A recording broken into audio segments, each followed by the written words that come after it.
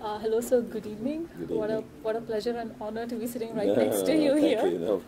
Uh, um, uh, we are here at Falcon X. It's one of these amazing incubators in Silicon Valley where um, a lot of youngsters are being guided by none other than BV Jagadeesh, uh, Silicon Valley and and eight others. eight others. Yeah. Eight others. And all are all are uh, successful people Mhm. who have built companies from ground up to exit. Mhm. So we are nine of us together.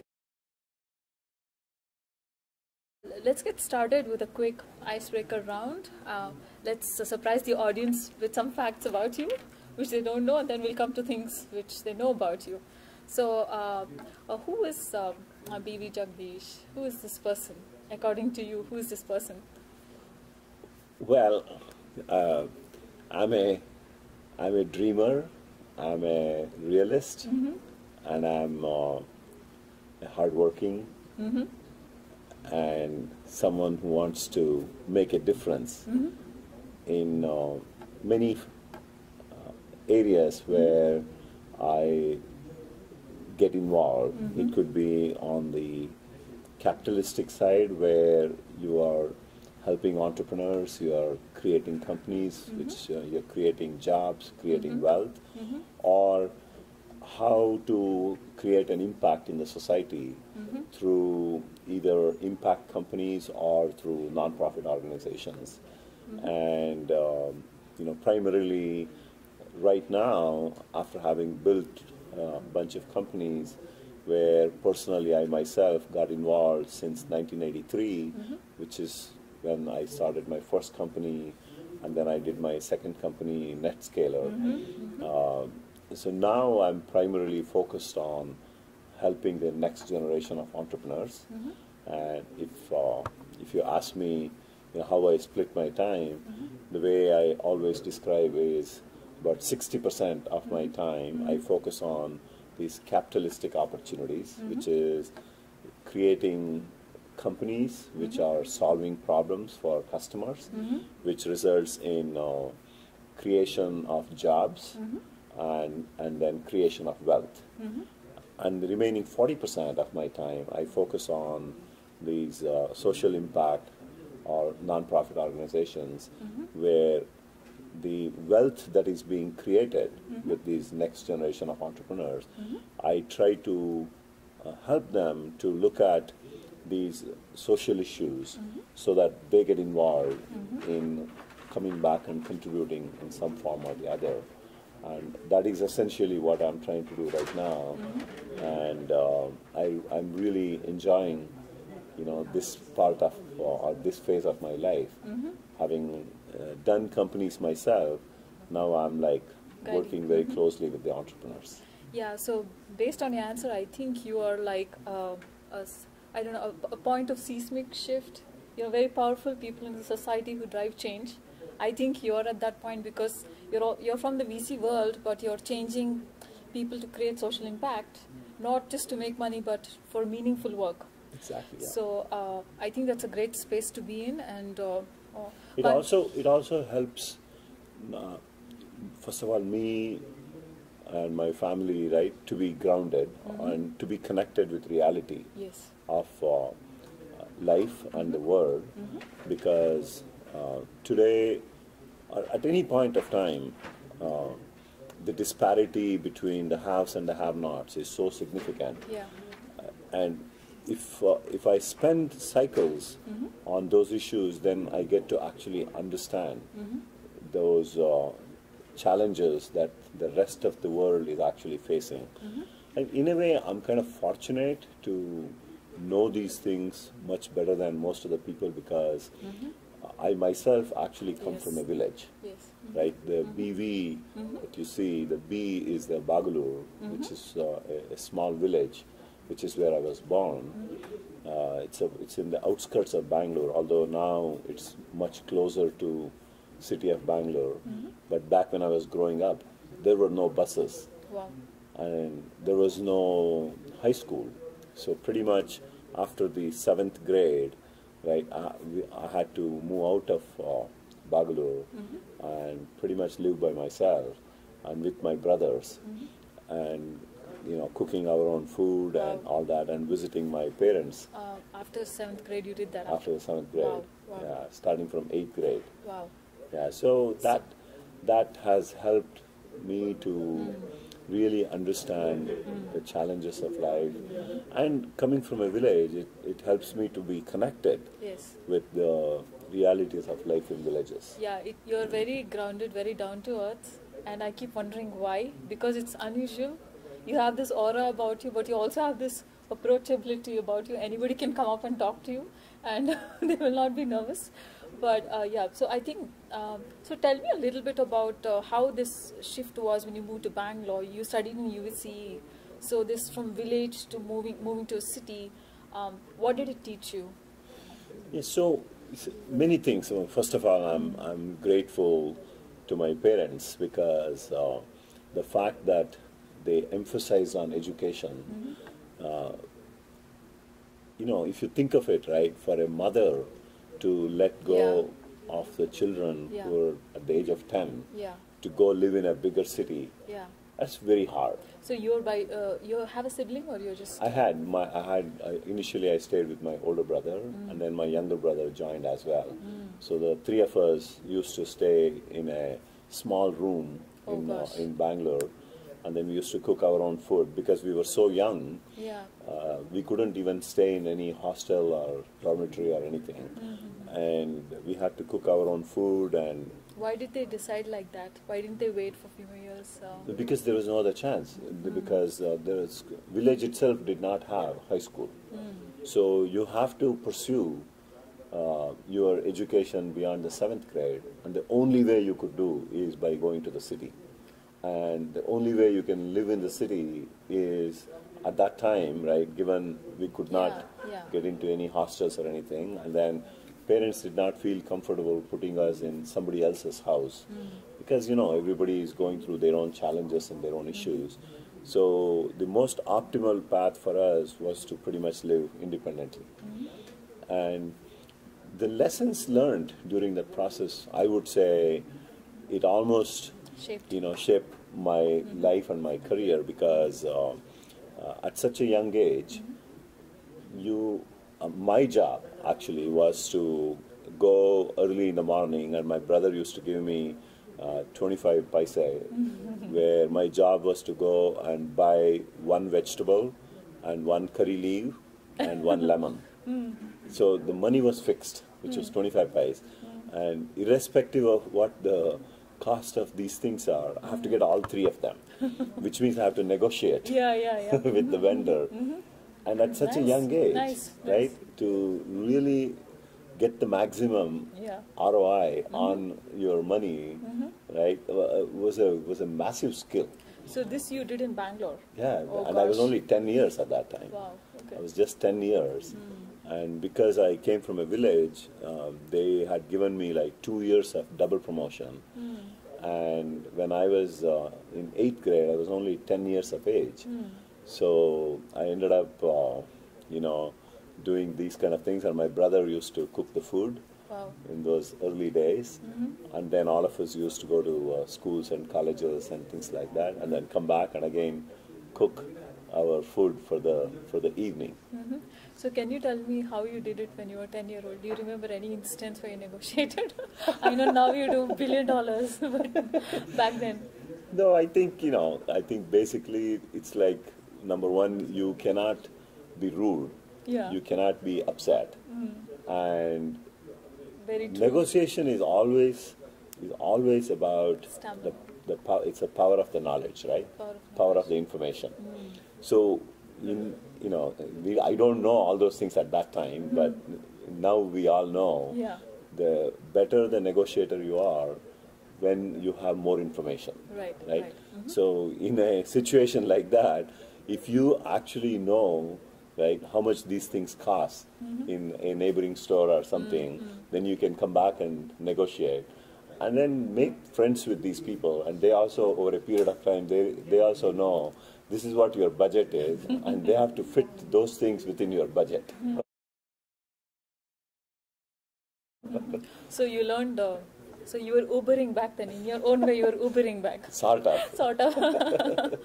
All right. So um, that's like due diligence. So you didn't have to go to. Did you go? You didn't go to business school, did you? I did not. Okay. I'm- now, but you're a I'm- professor. I'm glad actually I did not. because I think when you go to these uh, you can make that statement. I, I can never make that statement. right? With my second book, uh, we're trying to do that. We're trying to cut cut through all the case studies and make templates. But when I say that we're trying to, uh, you know, cut through the case studies of B school, then uh, I cannot say that because I don't have anything to prove like you. But you know, I'm glad you're saying it. So Yeah, yeah. So I think uh, the the challenge of uh, uh, or the drawbacks of going to a business school is you end up, um, you know, thinking everything in a very streamlined manner. yeah, And I think entrepreneurship and building a company and really building teams and managing those teams, especially during the early days. yeah, Perhaps maybe these MBA skills would actually help when the company has scaled Hmm. beyond certain level.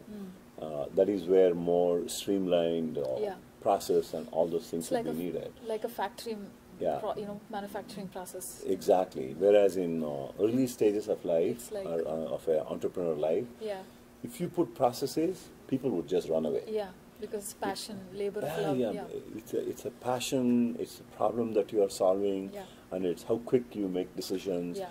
and experimenting with decisions, right? Yeah. Because you know not all decisions are going to go perfect. yeah, So when you put a process, Mm-hmm. then 20 people have to s- sign up for this. yeah, Then there'll be, you know, accountability, and because there's going to be accountability, uh, decision making is going to be delayed, Mm-hmm. right? And those were exactly the drawbacks that entrepreneurship helps to address, awesome. right? Because you can actually make decisions much faster Mm-hmm. based on uh, your gut feeling, based on the uh, knowledge that you collect from the market, and knowledge that you collect from people that you are working with. So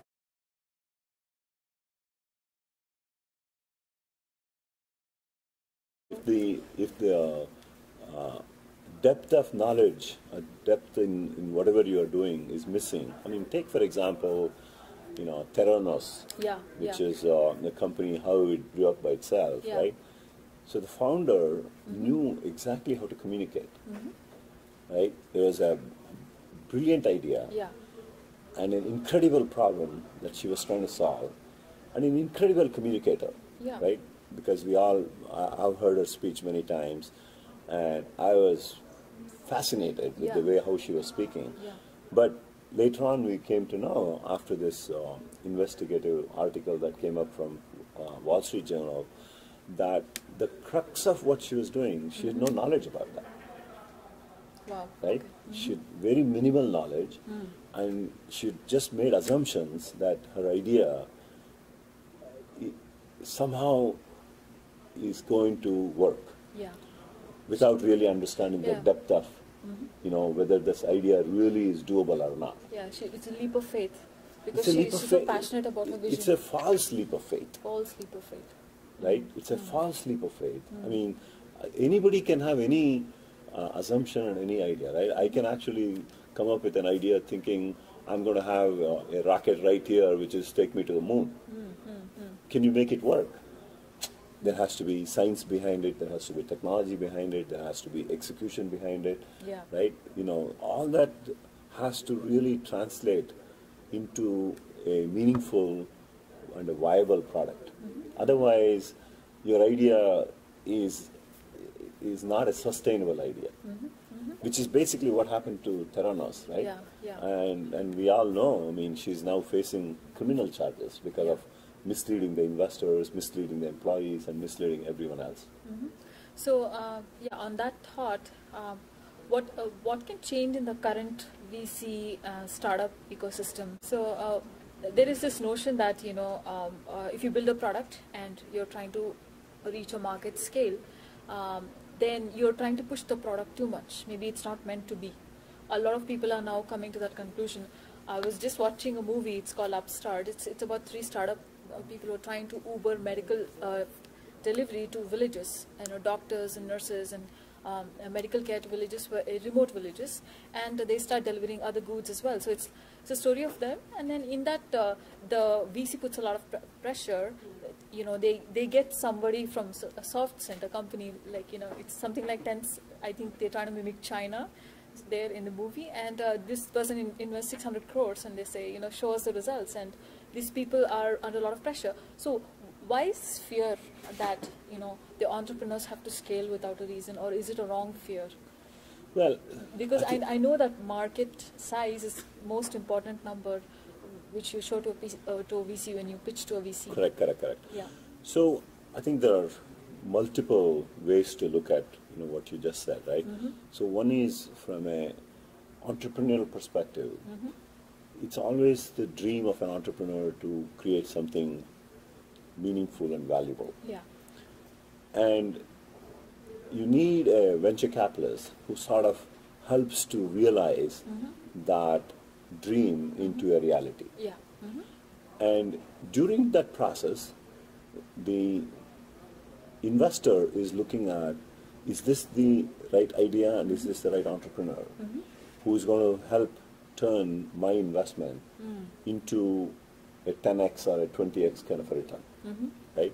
And if I bet on 10, 15 of these ideas, Mm-hmm. hopefully two to five of these ideas Mm. will actually turn into 10 to 20, 20x kind of a return. Mm-hmm.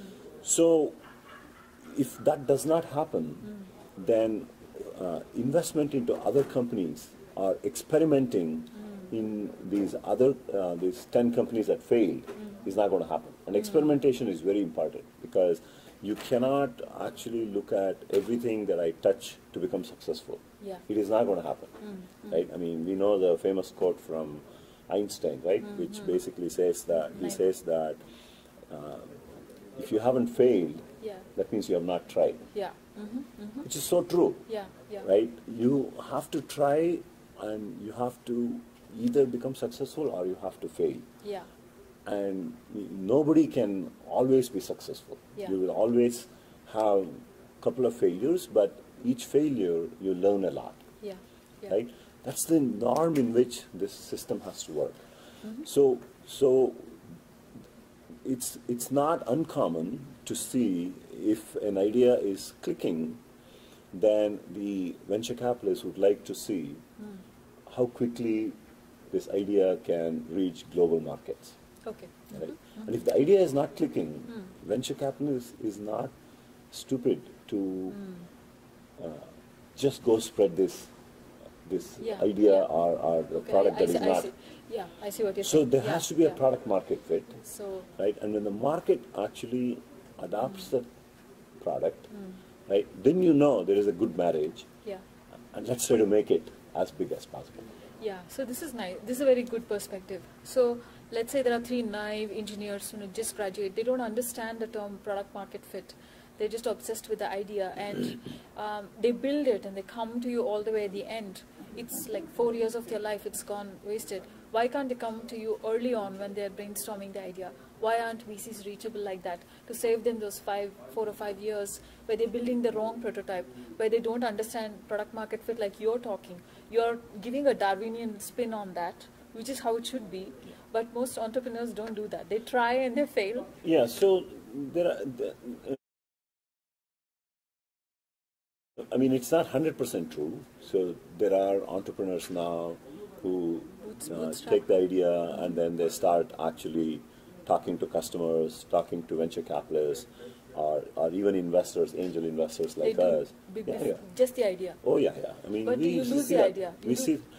No, you won't. I mean, if an idea is that easy Hmm. for someone to pick it up and then uh, and then lose, Hmm. then it's not really an idea, right? So it has to be because a venture capitalist. I'm not here to to take your idea Hmm. and then give it away to someone else. Why? If you have the idea and if you are good enough, I would rather bet on you. No, see, in sh- uh, no, I agree with you. Uh, you're a very good person. so your thinking is like that. But you know, if you go to a place like Shenzhen, Shenzhen is like a place where uh, patent really doesn't have a value. Um, it's a very different culture, and a lot of case studies say that if it's available, they just take it and build something. They don't credit anyone. Uh, the idea is to scale fast and you know don't waste time in patents. So if you look at that, then um, you know Yeah. No, it's. Uh, it's- your idea is taken away by someone and they don't credit you. See, China, unfortunately, um, has evolved where the copyright Yeah. violation, Yeah. like patent violation, Yeah. all of these things are well accepted. Mm. And there is no penalty or there is no uh, government law Mm. that protects the patent owner or the copyright owner, right? Yeah. So, so it, it's always a challenge in China, Mm. and that is why a lot of companies uh, they don't want to go to China early on itself. Yeah. They want to go exactly. when the product exactly. has matured. See, this is good insight. You know, don't go there early. You know, make sure you have a good market cap. Correct. Correct. wow. Okay. You have a good branding, Mm. you have a good uh, uh, market penetration, Mm. right? And then you go and you also know how to protect your intellectual property Mm. so that uh, even if they copy, right, they cannot copy and scale. Mm, Yeah, like that. So th- this is fine for um, high margin products like you know I used to work for radiation therapy With intellectual company. property, correct? Yeah, like a hundred million dollar uh, proton radiation therapy. That's fine. It's very hard to mimic because every part is you know you can't copy everything. They have linear accelerators and Correct. cyclotrons and all. But what about these apps? You know, like Uber or Ola. It's very easily Copyable. yeah, Yeah. No, maybe not Uber. Uh, uh, Uber has true. its own mathematical model. Maybe it's hard to mimic, but they have their own way. You know, they're O to O. Uh, you know, um, Yeah, yeah. like yeah. you, you. There are many applications that they're Everything's tethered to the phone. Baidu or Yeah, the, yeah. the you know Alibaba, Yeah. right? All of these things. What we do with text, they do with voice Yeah. because they have the Chinese uh, voice, uh, Correct, A, correct. you know, NLP But things. but you know, at the end of the day, uh, idea alone copying is not uncommon. it's Yeah, not the- uncommon. because because you cannot you cannot patent an idea. you cannot you, patent, you patent the the the execution. execution or the the techniques or the technologies Hmm. in translating this idea into reality. That is what is patentable. So which basically Hmm. yeah, that's a good insight. which yeah. basically m- makes it harder, right, to uh, to take the ingredients of the idea Yeah. into reality. And the ingredients is where, uh, you know, if I'm Hmm. Coming up with an idea and I'm trying to translate that idea into Yeah. a product, Yeah. the ingredients of what I do internally Hmm. makes it harder for someone else to copy. Okay, great. So yeah, this is very good Yeah. insight. So if uh, China, the how of it. if China basically looks at, you know, even India, for example, right? Hmm. They took this Uber Uber model and then they copied that into Yeah, Ola. Ola, right? But how they have done it themselves, who knows, right? There may be some advantages that uh, Uber has that Ola does not have, Yeah. or Ola may have some advantages that Uber may not have. Yeah, there's a lot of protectionism also Uber has to face when they go to India. Um, that is also there because they build their local product and they push the outsiders, you know, out. So that's another uh, another facet of this uh, But yeah, but all said and done, India actually did not protect Ola. Huh, they did not. They did not. They allowed both Uber and Ola Mm, to like that. compete in the market. Yeah, so that's like the market economy. Yeah, the, it the best market player economy. wins. The consumer Yeah. benefited out of it, Mhm. both from a functionality perspective and from pricing perspective. Nice, nice. If if you have to start all over again at 25, how would you do it differently? And if you are 25 today, what would you do? I, I think you'll say, I don't want to change anything. My life is perfect. Yeah, I think the the experiments of entrepreneurship. Uh, first of all, it has to be within you. See, for me, you know, this whole uh, entrepreneurship dream started when I was doing my master's degree in Bombay. Right, that is where this whole spirit of uh, entrepreneurship and one day starting my own company yeah. basically uh, that fire started. And when I came here, it took me it took me almost like 10, 11 years, right, to kind of uh, put myself in a stable state In, in Silicon Valley, in Silicon Valley, Mm-hmm. and also the ability to take that risk and, and how you manage the risk. Yeah, as an immigrant. It's As very an hard. It's very immigrant, hard. because if something goes wrong, Yeah, I no. cannot be on streets, or, I know. nor my family, right? Yeah. Cannot be on streets. But you did it when you came to Bangalore from the village. yes, That's, I, had nothing to lose at that point of time. Yeah, I- but here it's not nothing same. to lose. Whereas when you come here, you have a family, you have children, you cannot just put them on streets. Yeah. So there is a little bit of planning that that I had to go through, Mm-hmm. and I I kind of uh, planned it in such a way that when I started the company in 1993, I I gave myself time for one year Mm. that I'm going to try this out, Mm. and if this is going to click, Mm. fine, I'm going to pursue further. If I if it did not click, then it's like, hey, I always wanted to be an entrepreneur. In fact, my wife was very encouraging to try, asking me to try this out, right? Because this was a burning desire in me, Yeah. Mhm. and she was like, go try it, Mhm. right? Why do you want to curb your uh, this dream that you have? Yeah.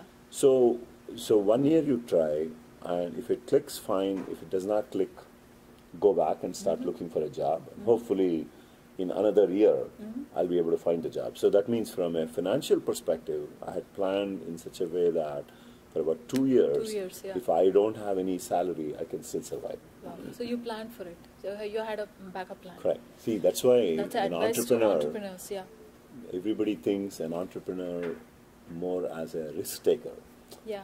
Actually, He's an not. entrepreneur is not just a risk taker, but he's a great risk mitigator. Yes. I like that.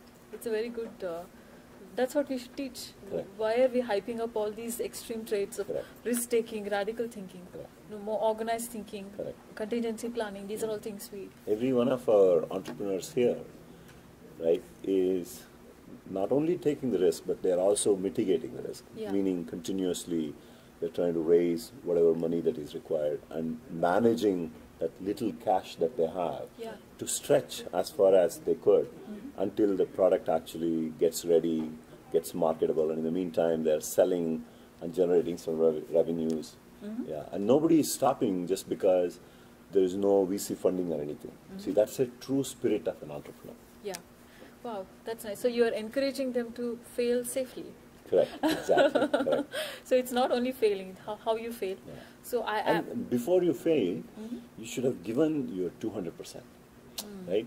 That Mm. Yeah. means, you know, Good. if this is the product I wanted to build, Mm. okay, build the product. This is the product I, wa- I want to sell to this kind of a market or this kind of a buyer. Okay, did you try selling to that? And Mm-hmm. whether it happened or it did not happen. If it Mm. did not happen, then can you reposition the product for another buyer? Mm-hmm. Right? If there is a value in the technology, then if this assumption that you made for this customer to buy and that's not working, Mm. then is there another customer who's actually willing to buy your product? Mm-hmm. So we have to give all those tries Mm. before you give up. So is this taught in MBA or is this something you learned on your? Um, you think they are currently teaching in the MBA? Where do uh, founders get these skills, these due diligence skills? It's hard to learn these kind of things in the MBA. It's hard to teach these things. Why don't they teach? Shouldn't they be teaching?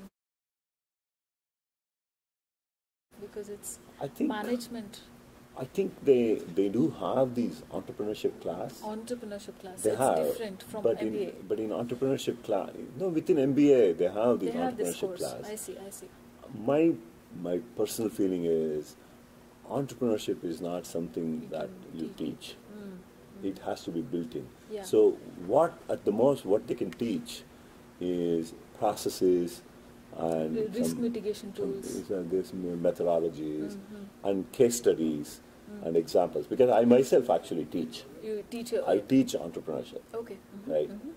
And In Michi- Michigan, right? And here Santa. Michigan in Santa Clara University, Mhm. and now I teach in a couple of IITs in India. Oh, nice. Uh, Very nice. So when I teach, right, all that I can do is uh, I can take my own examples Yeah. and the companies that I've been associated with, Yeah. and I also bring current generation Yeah. entrepreneurs. And current generation companies Exactly. to share their stories, Yeah. right? And that way, if there is one student in the class Mhm. who has the dream, Mm. he now has a little bit of a reality check Yeah. to uh, interact with a real entrepreneur, a real person who has built companies, Yeah. and how you know you can uh, uh, take the first step and then proceed to step two, step three, step four, like that. Yeah, that's a big boost because that entrepreneur is probably going to spend next seven or eight years on that project yeah. and it will change his life. Correct. And so meet the right people early on. That's, that's yeah. great. That's why I, I, I tell uh, in my class, right, before the, um, the class is announced, so you have to tell who this class is for. Hmm.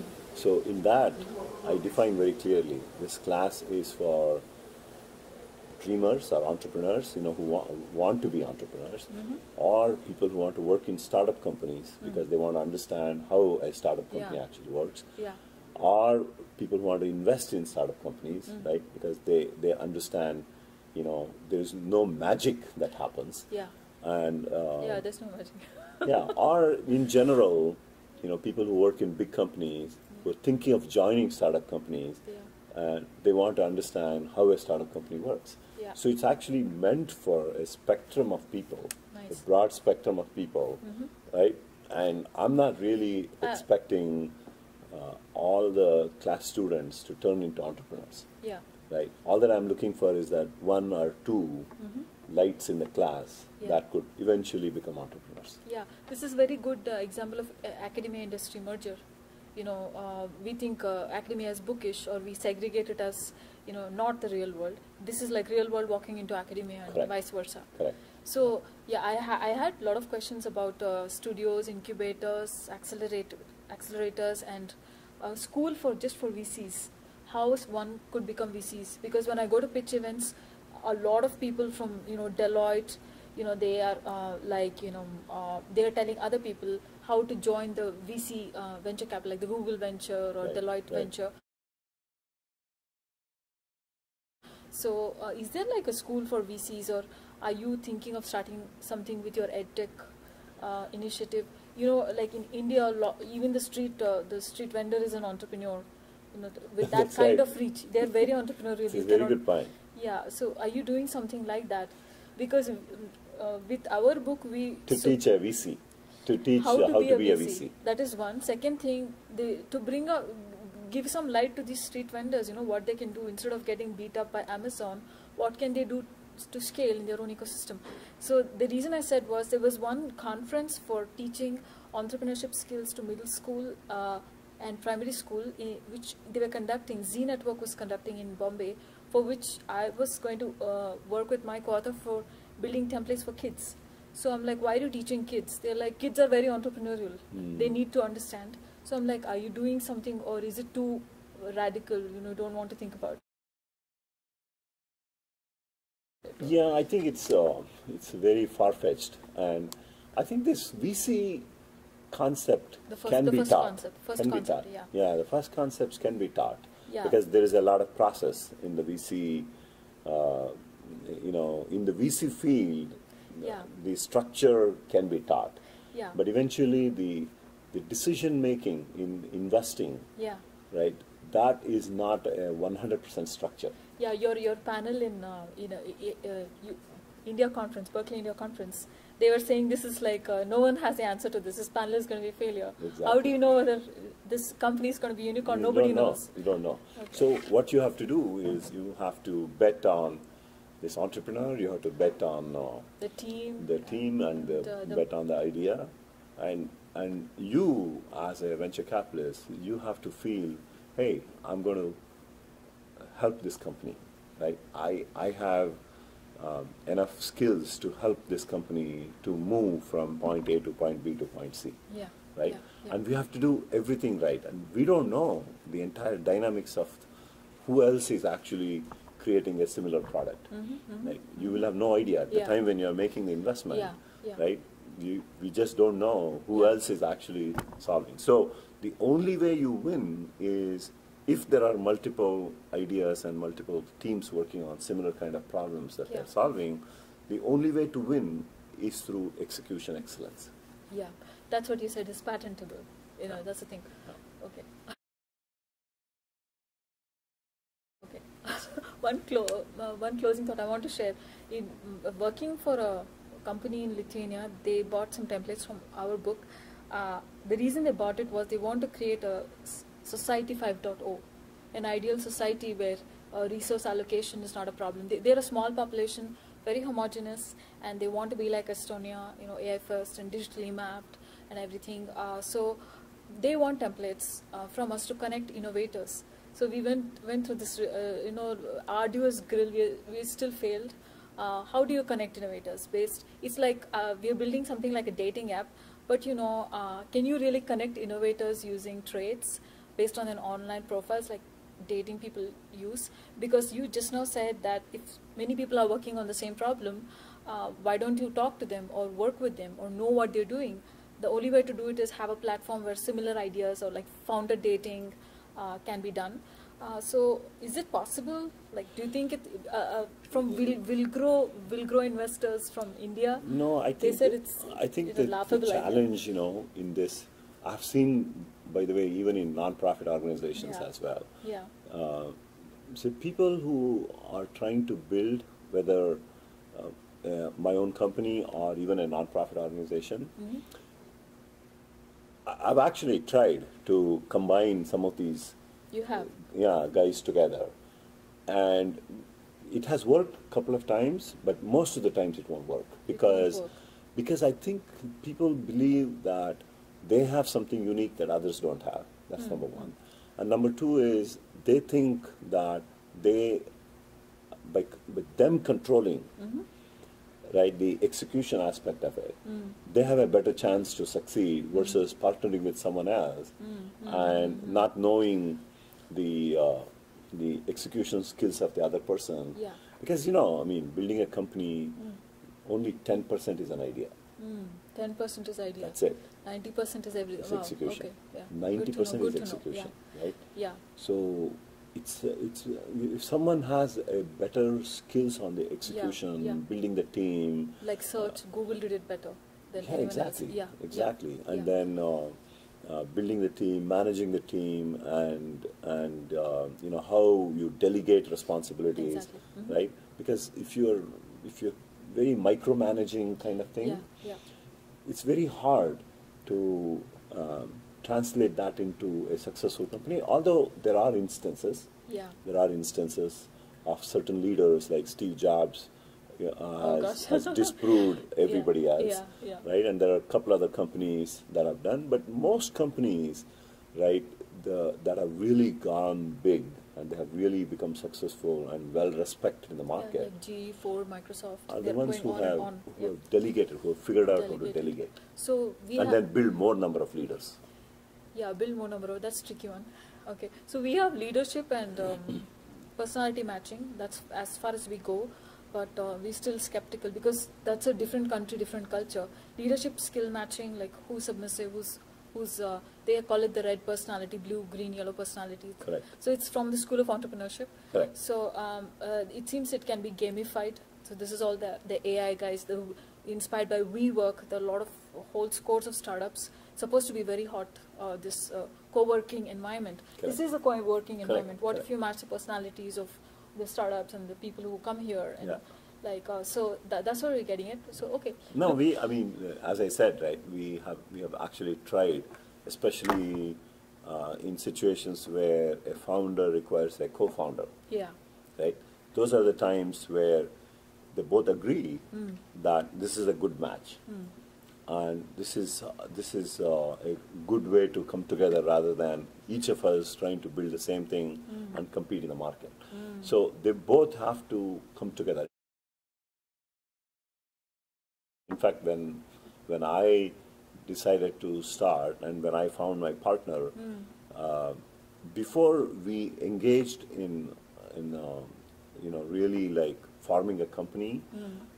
we sat down for almost six months. Mm. I mean, both of us had different jobs, Mm. and we sat down for almost six months and whiteboarded Mm. many aspects of the values Mm. that we wanted to Oh, how nice. incorporate, right? most people most people don't do that No. it's a it's a management technique you make people write down a Correct. list of values and see who scored high on what. Yeah, I mean, we were Oh, wow. we were very clear, both of us, right? We made, So made do you, sure. do you teach this to the children? I mean, the kids who come to you. yeah, my it class. seems. It seems. Yeah, it seems like a good thing to do. Yeah, I mean, these are some of the things that I talk about, but how many absorb that and then how do. Like, like in my case, right, I learned a lot of these things because I used to work for this company called uh, 3Com. And the leadership there was absolutely incredible. Hmm. And in fact, I meet the CEO quite often these days. And hmm. every time I meet him, I, I, I try to tell him hmm. that how much actually I learned the leadership skills, the communication skills, how to communicate with employees, you know, a lot of these things. And these were all very important. things, things that we spelled out Yeah. day one, right? When we started our company, hey, every employee is going to have shares, right? Wow. Every employee is going to be a part owner of the company.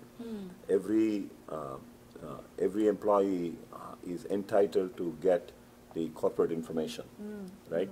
So all of these things, so that you keep the the thing tr- as transparent as possible. Yeah, this is not happening in Uber or Ola. They're Ah, gig, gig workers. They don't get shares. I mean, when you become public, it's kind of hard to disclose.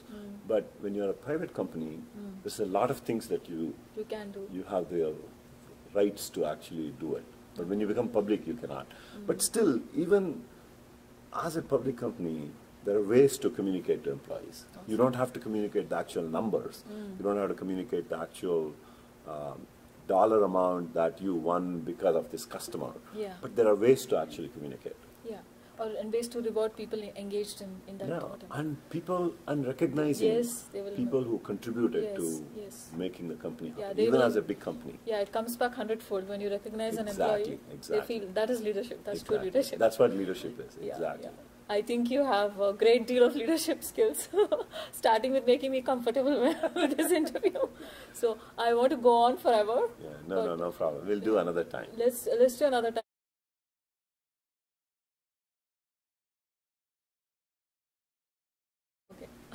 One clo- uh, one closing thought I want to share. In working for a company in Lithuania, they bought some templates from our book.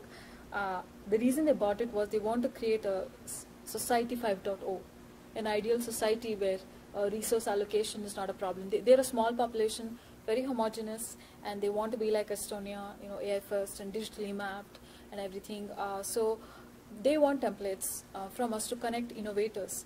So we went went through this, uh, you know, arduous grill. We, we still failed. Uh, how do you connect innovators? Based, it's like uh, we are building something like a dating app, but you know, uh, can you really connect innovators using traits based on an online profiles like dating people use? Because you just now said that if many people are working on the same problem, uh, why don't you talk to them or work with them or know what they're doing? The only way to do it is have a platform where similar ideas or like founder dating can be done. Uh, so, is it possible? Like, do you think it uh, uh, from will will grow will grow investors from India? No, I They think said it's- I think that the laughable idea. challenge, you know, in this, I've seen, by the way, even in non-profit organizations Yeah. as well. Yeah, Uh, so people who are trying to build, whether uh, uh, my own company or even a non-profit organization, Mm-hmm. I- I've actually tried to combine some of these you have. yeah, guys together. And it has worked a couple of times, but most of the times it won't work because work. because I think people believe that they have something unique that others don't have. That's hmm. number one. And number two is they think that they by with them controlling mm-hmm. Right the execution aspect of it hmm. they have a better chance to succeed hmm. versus partnering with someone else hmm. and not knowing the uh, the execution skills of the other person Yeah. because you know i mean building a company only 10% is an idea Ten percent is idea. that's it Ninety percent is every. it's wow, execution Okay. Yeah. 90% know, is good to know, execution right Yeah. yeah. so it's uh, it's uh, if someone has a better skills on the execution yeah. building the team Like search, Google did it better than Yeah, exactly. else. Yeah. Exactly. Yeah. And yeah. then uh, uh, building the team, managing the team, and and uh, you know how you delegate responsibilities, Exactly. Mhm. right? Because if you're if you're very micromanaging kind of thing, Yeah. Yeah. it's very hard to um, translate that into a successful company. Although there are instances, Yeah. there are instances of certain leaders like Steve Jobs uh, Oh, has, has disproved everybody Yeah, else, yeah, yeah. right? And there are a couple other companies that have done, but most companies, right, the, that have really gone big and they have really become successful and well respected in the market like GE, Ford, Microsoft. are the ones who on have, on. who have delegated, who have figured out how to delegate, So we and then build more number of leaders. Yeah, more number. That's a tricky one. Okay, so we have leadership and um, personality matching. That's as far as we go, but uh, we're still skeptical because that's a different country, different culture. Leadership skill matching, like who's submissive, who's who's uh, they call it the red personality, blue, green, yellow personality. Correct. So it's from the school of entrepreneurship. Correct. So um, uh, it seems it can be gamified. So this is all the, the AI guys, the inspired by WeWork. A lot of whole scores of startups. Supposed to be very hot. Uh, this uh, co-working environment. Correct. This is a co-working Correct, environment. What correct. if you match the personalities of the startups and the people who come here? And Yeah. Like uh, so, tha- that's how we're getting it. So okay. No, we. I mean, uh, as I said, right, we have we have actually tried, especially uh, in situations where a founder requires a co-founder, Yeah. right? Those are the times where they both agree Mm. that this is a good match, Mm. And this is uh, this is uh, a good way to come together rather than each of us trying to build the same thing Mm. and compete in the market. Mm. So they both have to come together. In fact, when when I decided to start and when I found my partner, Mm. uh, before we engaged in in uh, you know really like forming a company, Mm. we sat down for almost six months. Mm. I mean, both of us had different jobs, Mm. and we sat down for almost six months and whiteboarded Mm. many aspects of the values Mm. that we wanted to Oh, how nice. incorporate, right, Most into the people, company. most people don't do that. No. It's a it's a management technique.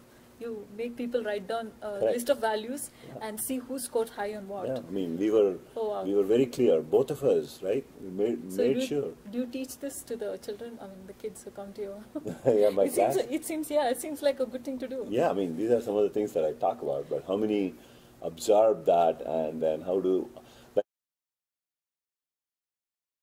like in my case, right? I learned a lot of these things because I used to work for this company called uh, 3Com. And the leadership there was absolutely incredible. Mm. And in fact, I meet the CEO quite often these days. And Mm. every time I meet him, I, I, I try to tell him Mm. that how much actually I learned the leadership skills, the Mm. communication skills, Mm. how to communicate with employees, you know, Mm. a lot of these things. And these were all It's very important. things, things that we spelled out Yeah. day one, Mm. right? When we started our company, hey, every employee is going to have shares. Right? Every employee is going to be a part owner of the company Mm. every uh, uh, every employee uh, is entitled to get the corporate information, Mm. right? So all of these things, so that you keep the the thing tr- as transparent as possible. Yeah, this is not happening in Uber or Ola. They're gig, gig workers. They don't get shares. I mean, when you become public, it's kind of hard to Mm. disclose. But when you're a private company, there's a lot of things that you you can do. you have the rights to actually do it. But when you become public, you cannot. But still, even as a public company, there are ways to communicate to employees. You don't have to communicate the actual numbers. Mm. You don't have to communicate the actual um, dollar amount that you won because of this customer. Yeah. But there are ways to actually communicate. Yeah. Or and ways to reward people engaged in, in that Yeah. And people, and recognizing Yes, people who contributed Yes, to yes. making the company, Yeah, they even will- as a big company. Yeah, it comes back hundredfold when you recognize an employee. exactly. They feel that is leadership. That's true leadership. That's what leadership is. Yeah, exactly. yeah. I think you have a great deal of leadership skills, starting with making me comfortable with this interview. So I want to go on forever. Yeah, no, no, no problem. We'll do another time. Let's let's do another time.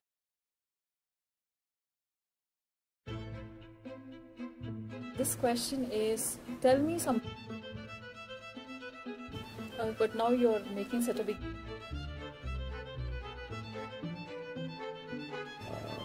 The bookish knowledge. I have a follow-up thought on that. You don't have to. Uh, depth Yeah, this is very good. In let's say there are three naive engineers. you know, All right. Uh, if if you have Bombay, mm-hmm. right? That is. And when I came here, it took. these due diligence skills, It's hard to. do. how is one? You know, so, so let's do another time.